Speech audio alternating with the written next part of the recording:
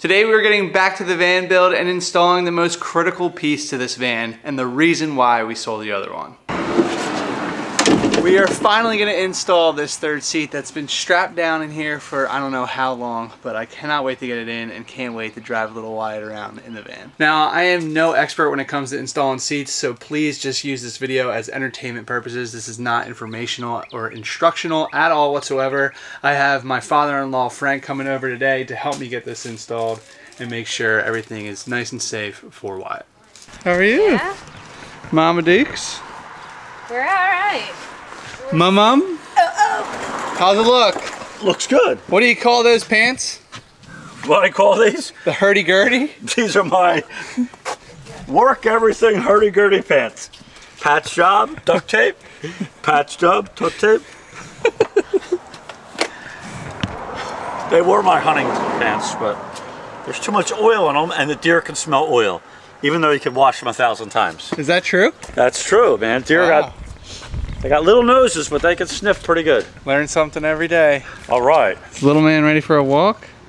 Little man's finally sleeping. He just peed all over himself, so he has a new outfit. Nice. You know, classic. We got right to work this morning.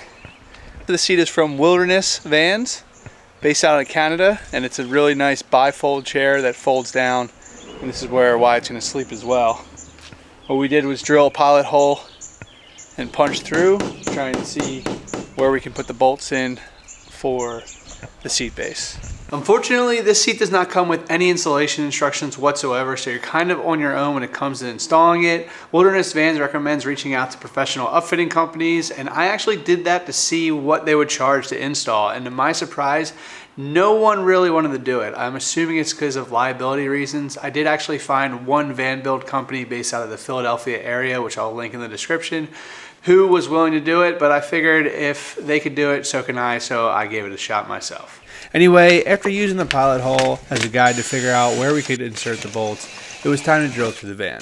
Now, we had to be extremely precise to avoid the gas tank, the drive shaft, and other obstacles like the frame. How's it look? Looks good. Factoring in the floor's thickness and the undercarriage of the van, we needed bolts at least 4 inches long and we were off the tractor supply. We got grade 8 bolts and nuts since it's used for heavy machinery, motors, and even tanks. We also went with a steel bar to give it additional support and strength. So we took the seat off the seat base and we punched through the holes on the bottom to make a mark on the underneath of the base. And now I'm drilling these holes through, so hopefully they will line up perfectly. We got this base from Wilderness Van. You can buy just a seat and then fabricate your own base or buy both, which is what we did.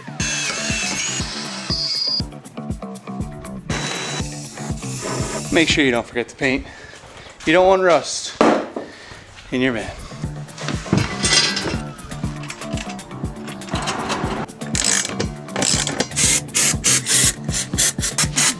How's it going? I think we have it officially mounted. I think my lower back might be shot.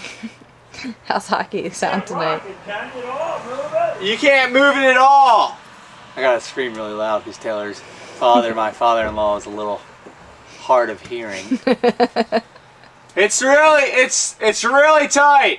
Wyatt and I came out to uh, see the progress of his seat slash bed, but he uh, is too tired or too milk drunk to really appreciate it right now. What do you think? It looks good. It's in there, man. Yeah. Man, I got a lump on my head. What happened? I hit the, I spun over around and I hit the, what do you call it? Step. Oh, the the runner board. The running board right on my head. man. Oh. Wow. You all right? Yeah. All right. It's done? It is See? done. Wow. Wow. It's nice. Looks good. Does it feel strong? Yeah. Whoa. Look at this seat. Dang, this is nice. Bravo, boys. Bravo. All right. Big help to this guy. Thank you. It was easy. Wasn't It's time consuming, but it, it went right in. Yeah. You know what I mean? I'm still so stoked on how we didn't mess up on any of the holes. It's awesome. It looks so I good. said, he said, I can't believe we didn't mess up once. So, well, what did you expect? we took our time, figured right out what I had to do, boom, put it in. Yeah, it looks So that's why the lines are on the floor, because I had to do it my way. I'm fussy. It worked, and that's all that counts.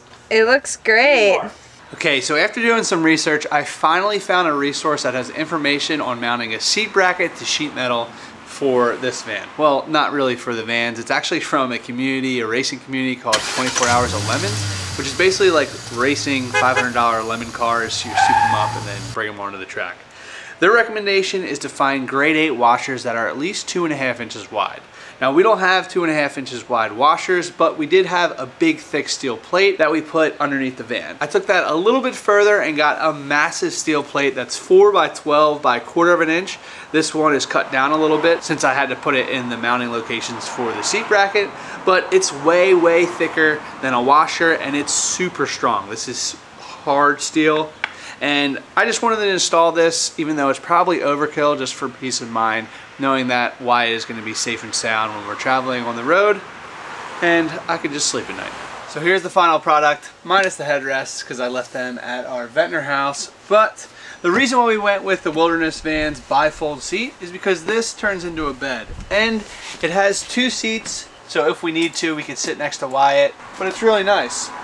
This reclines all the way, and then this also moves as well. Now, you might be wondering how this turns into a bed, and I'm hoping I can do it with leaving the car seat on, and let me show you. So this slides forward and backwards, and to get it down into bed mode, you lift this up, you basically go all the way 90 degrees. Now I'm going to push this back so I can do this. Goes 90 degrees like so. And then this would fold down. So it's not going to work because of the car seat, and I really don't feel like taking the car seat off. We'll see. And then you can slide this back, like so. Now it's going to work, perfect. And voila, there you go, this is down. And then if I move the swivel seat, then we have about almost six feet of space. So what the plan is to put Wyatt's bassinet right here, and then he'll sleep on here. And then when he gets older, you can put blankets over this, and this should be plenty comfortable for him when we're traveling on the road.